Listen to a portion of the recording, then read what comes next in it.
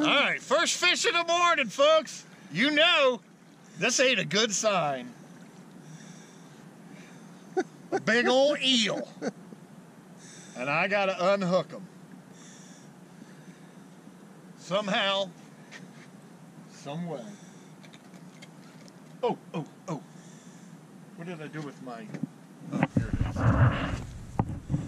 is. Okay. Let's see if we can dehookerize them.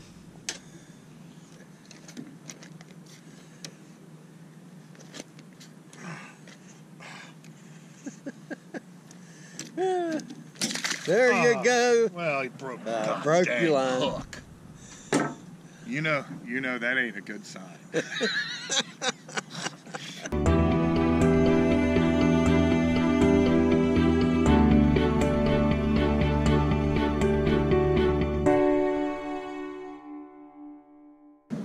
oh, who let them dogs out? First cast at the Jennies. Uh oh, it's a red. Oh God, he keeps going. He sees the anchor line. He just keeps going for the anchor. Oh God, he's definitely oversized. Ah! I got Dennis with me, and I told him, I said, let's go out to the jetty so we can go get hammered by these damn redfish. December is all about throwing jigs up at the rocks for Brutus T. Look at this dude. He will not give up. Live shrimp. It's got to be a red.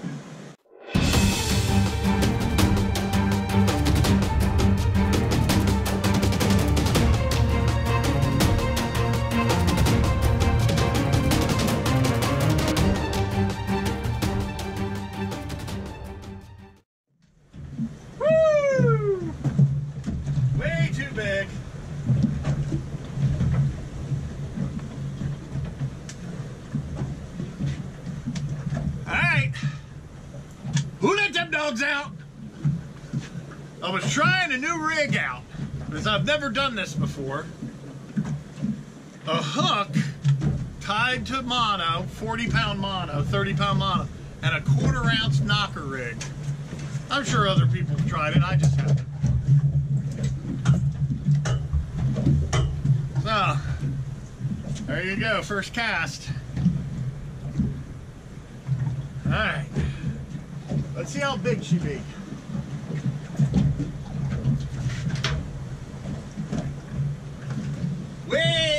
Way, way, way, way, way, too big. I never catch them keepers, that's for sure. 29 inches. Okay. Gonna let him go.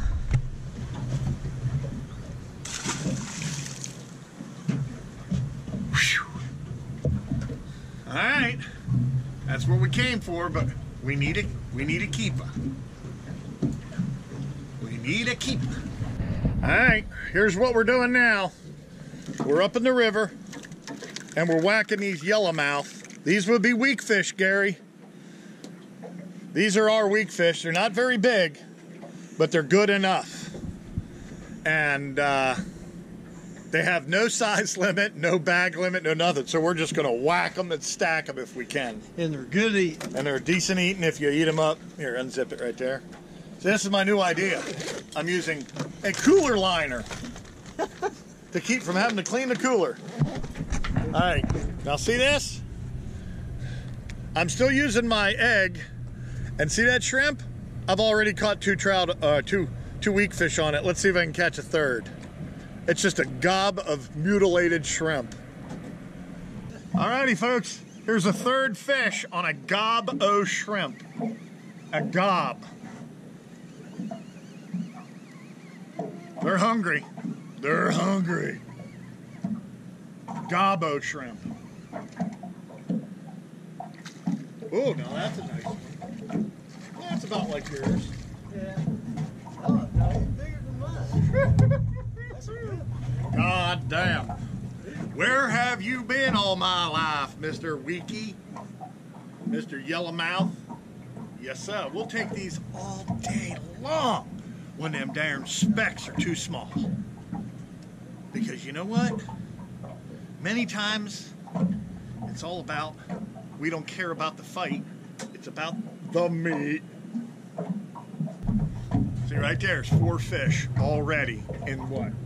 Like five cast five casts.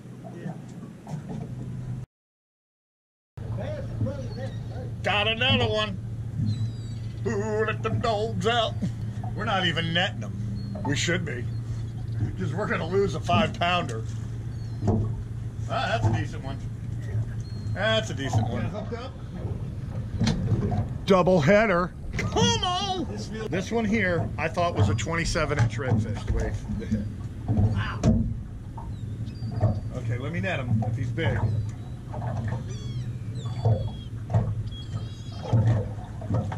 Look at that, folks. Look at that. Oh, he ain't that big. All right. Chief Wakatoa. He he ran off the land. Chief Wakatoa. He's running off the land into the water. Chief Wakatoa.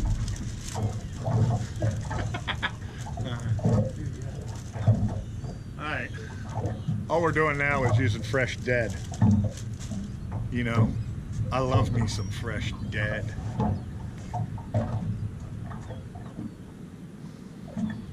I've shown a million times how I hook a shrimp.